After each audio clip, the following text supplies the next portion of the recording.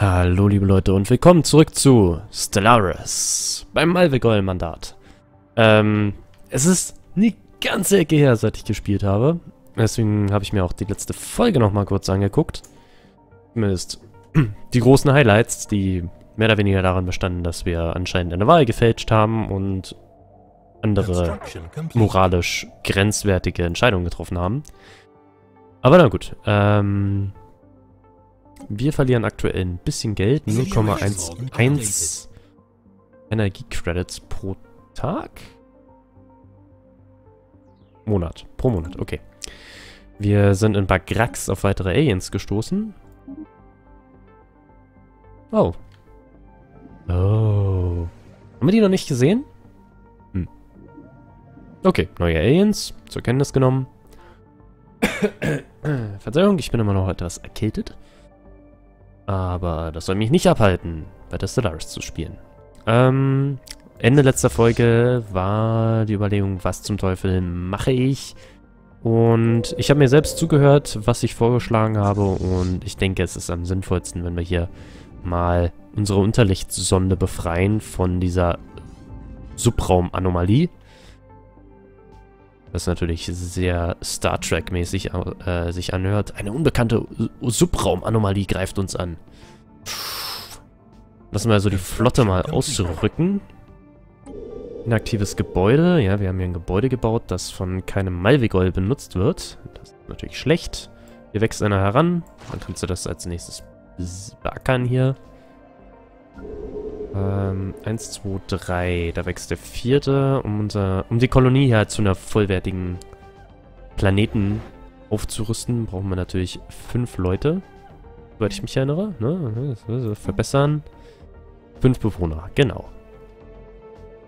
So. Was ich mir auch gerade off-camera noch ein bisschen überlegt habe, ist, dass ich war, dass ich ganz gerne schneller ähm, meine Umgebung erkunden würde. Und dazu werde ich ein zweites Forschungsschiff in Auftrag geben. Und dementsprechend auch eine zweite Wurmlochstation hinbauen, damit wir dann die Planeten und äh, die Sterne, die Systeme hier weiter, äh, ich würde schon gerne sagen Norden, aber halt einfach hier oben. Weil Norden macht irgendwie im Weltraum nicht viel Sinn. Jedenfalls, wenn man einfach so von der Galaxie spricht. Ähm, die Subraumanomalie beschießt uns mit Blitzen. Ähm, Finde ich nicht nett. Unsere Schilde halten aber einiges von dem Schaden ab. Und wenn dann das... Und bis, bis jetzt noch kein Schiff kaputt gegangen, aber ich schätze mal, dass wir die Korvette hier verlieren werden. Was schade ist. Aktuell haben wir nämlich noch ziemlich wenig Mineralien. Eddisch monolithisch. Lurgipage ist unbewohnt und tatsächlich auch unbewohnbar. Aber Besucher hat es ja wohl gegeben. Mann, das ist eine Anomalie in unserem, in unserem Heimatsystem. Seine Oberfläche ist übersät mit Zentaphen. Nee, Zenotaphen. Die aus einem Material, Material geschnitten wurden. Jetzt müsste ich echt mal Wikipedia nach aufschlagen, was Zenotaphen sind. Die aus einem Material geschnitten wurden, das es auf dem Planeten nicht gibt. Offensichtlich wurden sie hier von einer künstlerisch geneigten Rasse platziert. Die fließenden Linien der Monolithen stellen geschickt eine derart fantastische Geschichte dar, dass es sich dabei um Fiktion handeln muss. Oder? Für die Archivaufzeichnung. Entschuldigung, ich muss jetzt tatsächlich, ich werde jetzt tatsächlich, ihr könnt es nicht sehen, aber ich werde jetzt tatsächlich einmal Wikipedia aufschlagen und gucken, was Zenotaph bedeutet. Weil ich keine Ahnung habe. Weil ich ein Zenotaph. Ein Kenotaph, auch Zenotaph, griechisch, ich kann leider kein Griechisch lesen, äh, leeres Grab, auch Scheingrab genannt, ist ein Ehrenzeichen für ein oder mehrere Tote. Faszinierend. Und ein bisschen gruselig. Wir haben also in unserem Heimatsystem auf einem der Monde dieses Gasriesen ein paar Scheingräber entdeckt. Ja, für die, für die Archive aufzeichnen, bitte. Ähm, das hat uns 120 Ingenieurforschungspunkte gegeben. Sehr schön. Ähm, wir haben schon eine Korvette verloren. Ich werde sie gleich mal nachproduzieren lassen. Anomalie besiegt. Wir haben das feindliche Hyperraumwesen vernichtet, das unsere verschwundene Sonde angelockt hatte. Was solch eine Kreatur an einem archaischen, unbemannten Raumschiff finden könnte, ist uns ein Rätsel. Ähm, die Sonne scheint aber weitestgehend unbeschädigt geblieben zu sein. Unsere Truppen haben sie geborgen und wir konnten aus ihren Speicherbänken detaillierte Sensorwerte über das gesamte Fidilam-System herunterladen, das wir sowieso schon gescannt hatten. Bringt uns also nicht viel. Darüber hinaus bieten die von der Hyperraum-Anomalie zurückgelassenen Energiereste unserer Wissenschaftler wertvolle physikalische Daten. 90 Wissenschaftspunkte. Schön. Sonden eingesammelt. Wir haben alle Sonden eingesammelt, kriegen dafür nochmal 90 ähm, Wissenschaftspunkte und 133 Energiecredits. Nice. So, das Forschungsschiff kann ich dann auch zum Durchsuchen der Überreste dieses Wesens schicken. Und dieses Forschungsschiff, ich hab's... Das habe ich herausgefunden, ähm... Also das braucht ja noch einen Anführer, einen Wissenschaftler, damit es funktionieren kann. Ähm, ich will hier nur mal... Bin Alien-Besucherzentren. Uh. Wow. Habe ich, glaube ich, noch nicht zuvor gesehen. Aber ich glaube, ich nehme koloniale Zentralisierung, weil ich festgestellt habe, ich habe ein bisschen off-camera weitergespielt, andere Spiele. Ähm, und ich habe festgestellt, wie absurd wichtig Einfluss ist. Ähm, und ich habe was anderes festgestellt. Bei jeder Wahl in einer Demokratie werden uns ja mehrere ähm, Kandidaten vorgestellt. Und diese Kandidaten können wir tatsächlich als Anführer für alles Mögliche benutzen. Das sind manchmal Gouverneure, das sind manchmal Admiräle, das sind manchmal Generäle. Aber wir haben zum Beispiel auch zwei Wissenschaftler bekommen. Und das heißt, dass ich mir keinen Wissenschaftler kaufen muss mit Einfluss, sondern ich kann einfach den hier nehmen, der ein Kandidat für, ähm, für die, bei der letzten Wahl war. Und jetzt habe ich einfach einen Typen, den ich zum Forschen rumschicken kann. Hey! Und zwar gratis. Und das kriegen Demokratien. Das wusste ich vorher nicht. Ich glaube, das ist auch neu. Das war, glaube ich, vorher nicht so. Da waren die Kandidaten, die waren nur für die Wahl da und danach sind sie wieder verschwunden. Aber da bin ich mir nicht sicher. Verzeihung. Das kann natürlich dazu führen, dass man viele ähm, Anführer bekommt, die man null gebrauchen kann. Wir können zum Beispiel aktuell keinerlei Generäle gebrauchen, weil wir in keinen Krieg verstrickt sind. Ähm, und Generäle halt in Friedenszeiten praktisch null Wert haben. Ähm, aber gerade so Sachen wie ähm, Wissenschaftler und Gouverneure kann ich aktuell gebrauchen. Durchaus. Ähm, haben wir hier noch eine Bergbaustation? Haben wir eigentlich noch das Mandat oder haben wir das schon erfüllt? Nee, das Mandat haben wir noch. Sehr gut. Hier gibt es anscheinend auch noch Feinde. Ähm, wieder so ein Viech, ein Tentakelviech. Das aber erstaunlich hübsch aussieht. Schöne Lasershow. Blub. Jetzt können wir es nicht mehr sehen, weil wir keine Sensordaten mehr haben. Na gut, fliegen wir woanders hin. So, wir verlieren immer noch Geld. Oder Energiecredits. Wie auch immer man es nennen will. Wir produzieren ziemlich wenig Wissenschaft, muss ich sagen. Ähm, mir ist bewusst, dass wir noch relativ am Anfang des Spiels sind, aber trotzdem. So, wir haben gerade das erforscht und ich habe schon wieder weggeklickt, was wir dafür bekommen haben. Äh, ja, das war nicht ganz so clever. Ähm, und dann ich schicke mal die, unsere Flotte raus, diese Systeme erkunden. Wie gesagt, das mache ich ganz gerne mit Militärflotten, weil die halt wenigstens, naja, Schilde und Waffen haben und nicht sofort bei, beim Anblick des ersten Gegners einfach auseinanderfallen. Hm. Spart meistens Mineralien. Und wenn man was wirklich Interessantes findet, das man sofort behalten will, kann man natürlich auch gleich seine Flotte hinschicken, um das Gebiet zu säubern. Also wenn zum Beispiel irgendwelche extrem tollen Planeten in einem System sind, die allerdings halt von Gegnern bewacht werden, dann kann man halt gleich reagieren. Kann nützlich sein. Durchaus. Hm. So, Groll wächst langsam. Tikim wächst langsam. Uh, Oh, wir kämpfen wieder gegen Mineralien, gegen... Wow. So schnell. Ich will mich eigentlich zurückziehen. Will ich mich zurückziehen? Eigentlich... Ja, da kommen noch mehr Viecher.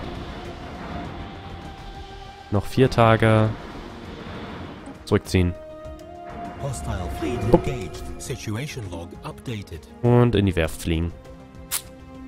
Das ist natürlich auch etwas, das passieren kann. Wir haben immer zwei, vier Viecher gegrillt, aber... Hm. Konstruktionsschiff ist auch wieder fertig. Jetzt ist der Weg ja hier wieder frei. Dann können wir ja auch noch eine Bergbaustation bauen und dann müssten wir das Mandat erfüllt haben und dafür hoffenweise Einfluss bekommen. Sehr schön. Hm. Ich weiß nicht, ob das auch die Wiederwahlchancen unseres aktuellen Herrschers erhöht. Wäre eigentlich interessant. Also es wäre halt sinnvoll, ne? Es ist wenigstens mal ein Politiker, der seine Versprechen erfüllt. Ähm, okay. Das ist wieder eins von diesen Viechern. Ja. Wir sollten eigentlich nicht keine großen Probleme mit dem Viech haben. Ich kenne das Viech schon und wie sie sich verhalten und ja. Feldmodulation, sehr schön. Das kann uns bei unserer Energiegewinnung helfen. Genauso wie orbitale Energieumwandlung. St what? Station under attack? Wo? Hier. Das Viech greift tatsächlich meine Station an? Äh. Plotter, ausrücken. Hm. Wir sind noch nicht wieder komplett repariert, aber besser als gar nichts zu tun. Ich will die Station nicht verlieren. ist ja blöd, dass das Viech tatsächlich angreift. Böse, böse, böse. Müssen wir wohl mal auf die Schnauze hauen. 2, 4. Hm. Hier kann ich tatsächlich schon mal eine Forschungsstation bauen. Man kann auf Kolonien tatsächlich die stinknormalen einfachen Forschungslabore bauen. Die genauso stark sind wie ähm, die, die man auf vollen Welten bauen kann. Man kann sie dann nur nicht mehr upgraden. Ja, okay. Äh, wir haben hier eine Anomalie. 60% Scheit... Uh, nee.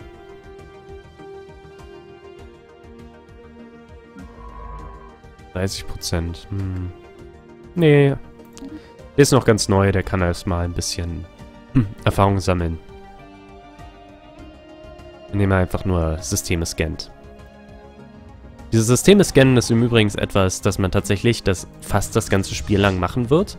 Weil die Galaxie halt wirklich so riesig ist, dass man immer was zum Scannen findet. Es ist wirklich krass. Und in Kriegszeiten kann man halt die Wracks von feindlichen Schiffen analysieren und so ähm, ja, 144 Eingriff, äh, Einfluss und so halt wertvolle Technologie erbeuten.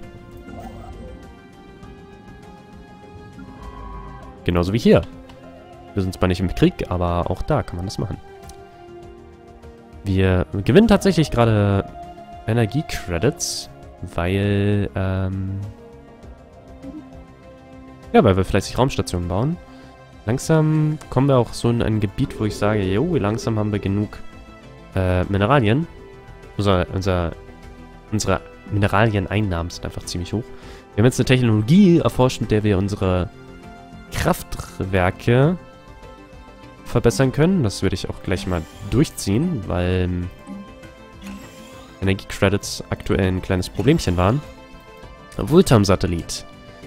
Im Orbit von WUM 8 ist ein kleiner Vultom-Satellit gefunden worden. Gemäß seiner Programmierung sendet er ununterbrochen dieselbe Nachricht, bis er schließlich von Millionen, von vor Millionen von Jahren seiner Energiequelle erschöpft war.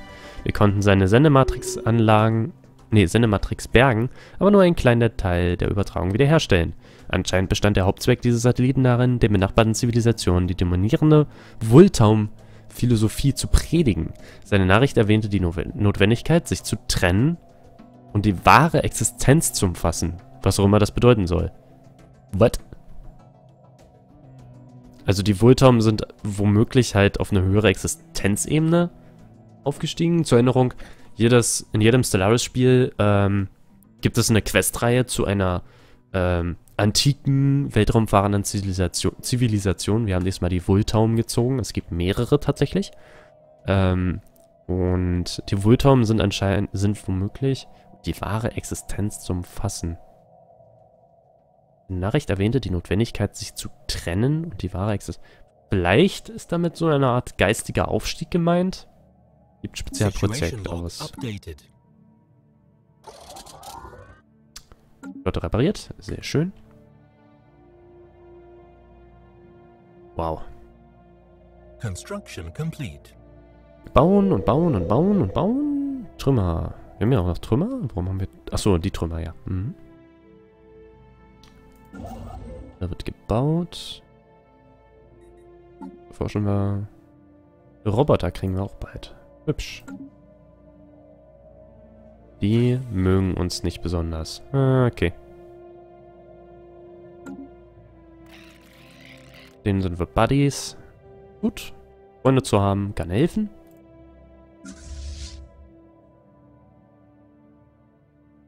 Ja, jetzt ist es gerade wieder ein bisschen ruhiger geworden. Achso, mit der Flotte natürlich die äußeren Systeme erkunden.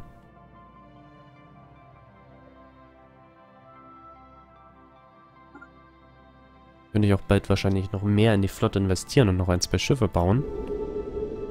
Könnte eine gute Idee sein. Hier werde ich auch gleich mal ein bisschen die Wirtschaft stärken. Einfaches Bergbaunetzwerk.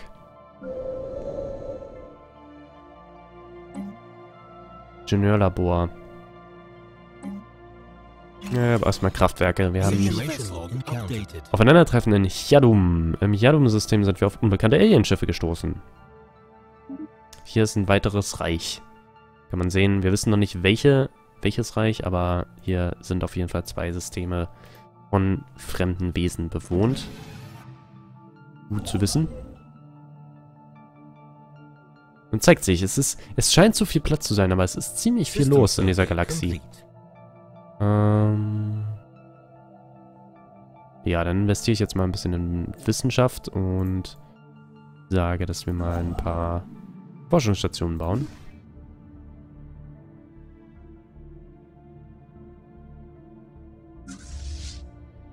Wir haben leider noch keine weiteren bewohnbaren Planeten, also für uns bewohnbaren Planeten entdeckt.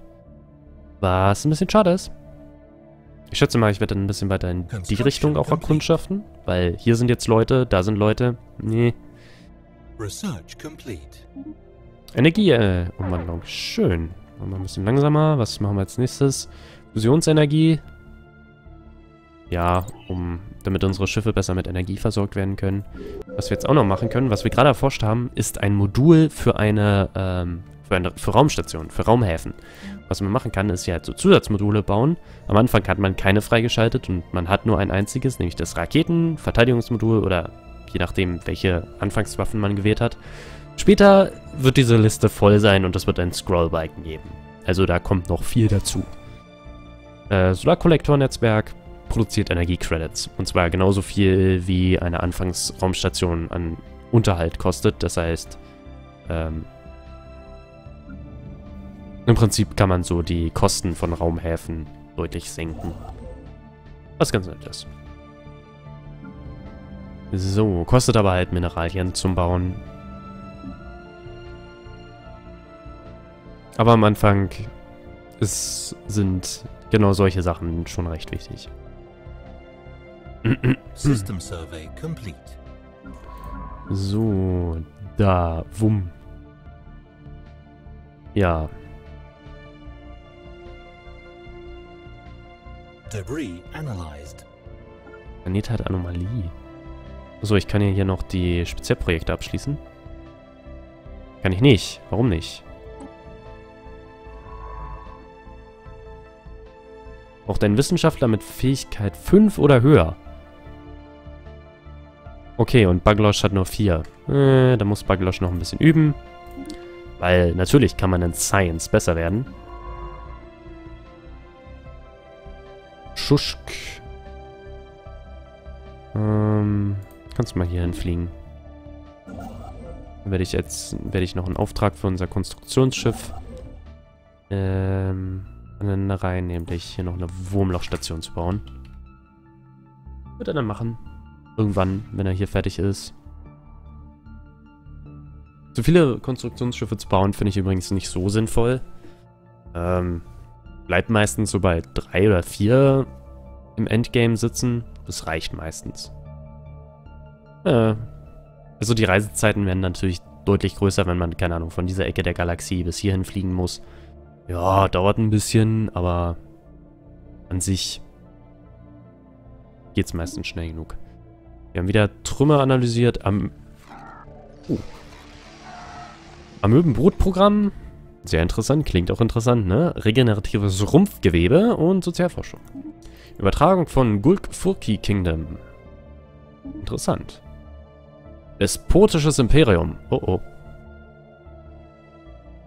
Ich vertrete das Gulk Furki Kingdom und man hat mich ermächtigt, euch, zu, euch Grüße zu übermitteln. Wow, das ist eine fette Macht, ey. Darfst Hallo sagen. Äh, Liebe ist nichts anderes als Freundschaft Musik. Ich erinnere mich, ja genau. Wir sind tatsächlich deutlich anders als dieses Imperium. Ne? Sie sind materialistisch und fanatisch kollektivistisch. Das heißt, das Individuum hat eigentlich keinerlei Wert, sondern nur das Überleben des Gesamt, äh, des Staates, der, der, der, der Kultur, der Zivilisation. Das ist das Wichtigste. Äh, der Zweck des Individuums ist einfach die Stärkung des Kollektivs, genau. Äh, während wir genau im Prinzip anders sind. Wir sind individualistisch, das heißt, jeder Einzelne ist wichtig. Ähm, und wir sind spirituell statt materialistisch. Materialistisch ist der Gegenbegriff zu äh, spiritualistisch, zumindest für das Spiel hier. Ähm, und man kann nicht gleichzeitig spiritualistisch und materialistisch sein. Das geht einfach nicht. Es, es geht einfach nicht. Das heißt, äh, mh, hm, mit allem, was ich sage, werde ich die Leute irgendwie beleidigen. Liebe ist nichts anderes so. Und sie mögen uns nicht besonders. Oh Wunder. Wer hätte das gedacht? Irgendwie mag uns kaum jemand. Naja. Man kann nicht von allen gemocht werden. So traurig ist es. So, ich werde dann hier wahrscheinlich noch eine Hydrokulturfarm bauen. Weil unsere Bevölkerung auf Groll langsam so viel Nahrung frisst, dass ähm, das Bevölkerungswachstum irgendwann zum Stoppen kommt. Guck mal, hier sind Ach nee, das sind wieder die Viecher. Hm. Ich dachte, das wären Raumschiffe von der Zivilisation, die wir noch nicht kennen, aber es sind nur diese Tentakelviecher. Noch mehr Tentakelviecher. Da draußen lebt erstaunlich viel Zeugs mit Tentakeln. Haben wir Tentakeln? Ja, so ein bisschen. Sogar wir haben irgendwie Tentakeln. Äh, so ganz kleine. Okay. Ja, dann sind wir nicht grün, laufen auf zwei, äh, grün. Oh, äh, pink, laufen auf zwei Beinen und... Uh, ekelhaft. Überall Haare. Grün wäre auch schlimm. Irgendjemand von unseren Nachbarn grün? Wir sind schon fast grün, ne? Alien Designs sind wirklich ziemlich cool. Das sind, die sind leider... Das wäre wirklich cool, wenn die Alien-Designs, diese Porträts, auch noch zufallsgeneriert wären, aber es ist eigentlich hauptsächlich ein, ein Satz aus vorgefertigten Porträts. Aber ist schon... Hat man sich Mühe, Mühe gegeben. So. Forschen wir auch mal das System. Okay. Der Wurmlochgenerator wird gebaut. Sehr schön. Okay.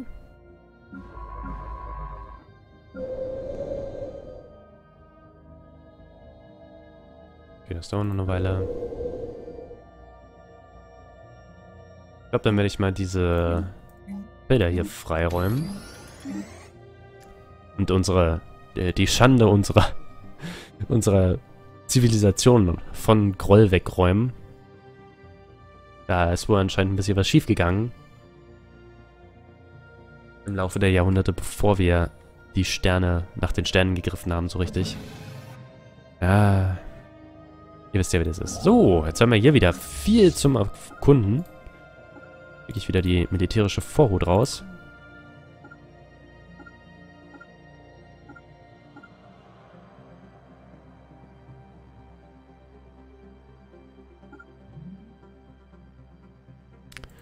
Konstruktionsschiff. Mh, hm. Mehr für Forschung. Mehr für die Forschung tun. Hm. Ich habe bis jetzt wirklich noch keine weiteren schönen Planeten zur Kolonisierung gefunden. Ansonsten würde ich wahrscheinlich bald auf ein äh, Kolonieschiff sparen. Aber es, es, ist wirklich nichts Tolles. Hier ist 12 Größe. Äh, eigentlich ist so alles, was kleiner als 15 ist, ist so äh, schon eigentlich zu klein.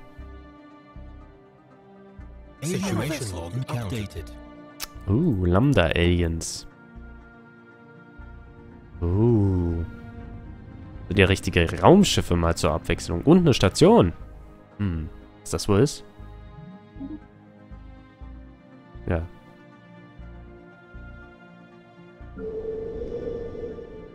So, hier wird Platz gemacht. Sehr schön. Kempler-Zivilisation getroffen. Wir haben auf Wurlat die Gegenwart einer primitiven Alien-Zivilisation entdeckt. Hatten wir das schon? Ich weiß nicht. Hatten wir das schon? Ähm, ich kann ja nachgucken. Nein. Glaube ich nicht. Nee, okay. Genau, wir hatten noch keine primitive Zivilisation. Das ist auch etwas, was man natürlich trifft als so weltraumfahrende äh, Spezies. Ähm, man trifft auf Zivilisationen, die noch nicht den Überlichtgeschwindigkeitsflug entdeckt haben. Oder ganz generell den Weltraumflug. Oder das Schießpulver. Oder Kleidung, Schrift. Sowas, ne? Ähm, die haben das Äquivalent einer Eisenzeit erreicht und sind in, zahlreichen, in zahlreiche kümmerliche König- und Kaiserreiche unterteilt. Ihre Spezies hat sich fast auf der gesamten Oberfläche von, von Planet ausgebreitet. Wir sollten den Bau eines Beobachtungsposten über der Welt in Betracht ziehen, um sie eingehender zu studieren. Wir können uns sogar angucken. Aha, primitive Farmen. Und das sind die Kempler. Interessant. Eigentlich eine schöne Welt. 19 Teile? Mhm. Interessant, ja. Sollten wir in Betracht ziehen. Was ich mir noch wirklich, wirklich, wirklich, wirklich wünschen würde, wäre, dass ähm, solche primitiven Spezies auch auf dieser Übersicht markiert werden, weil es tatsächlich ziemlich schwierig sein kann, diese, diese Planeten wiederzufinden. Ähm, ich bin jetzt ziemlich glücklich und habe hier eine Wurmlochstation. Das heißt, wenn ich hier wieder reingucke... Ah, ja, stimmt ja. Da war ja was. Ähm, aber ansonsten es, kann es echt eklig sein. Roboter. Sehr schön. Was jetzt nächstes? Triebwerke, Panzerung. Äh, ich glaube, ich nehme die Panzerung. Ähm. Echt. Nirgendwo Tundra-Welten.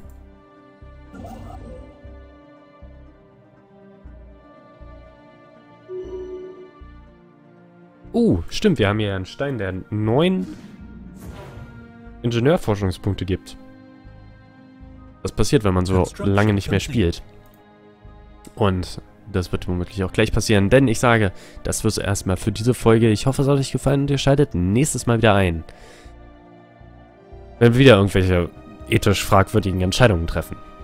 Bis dann.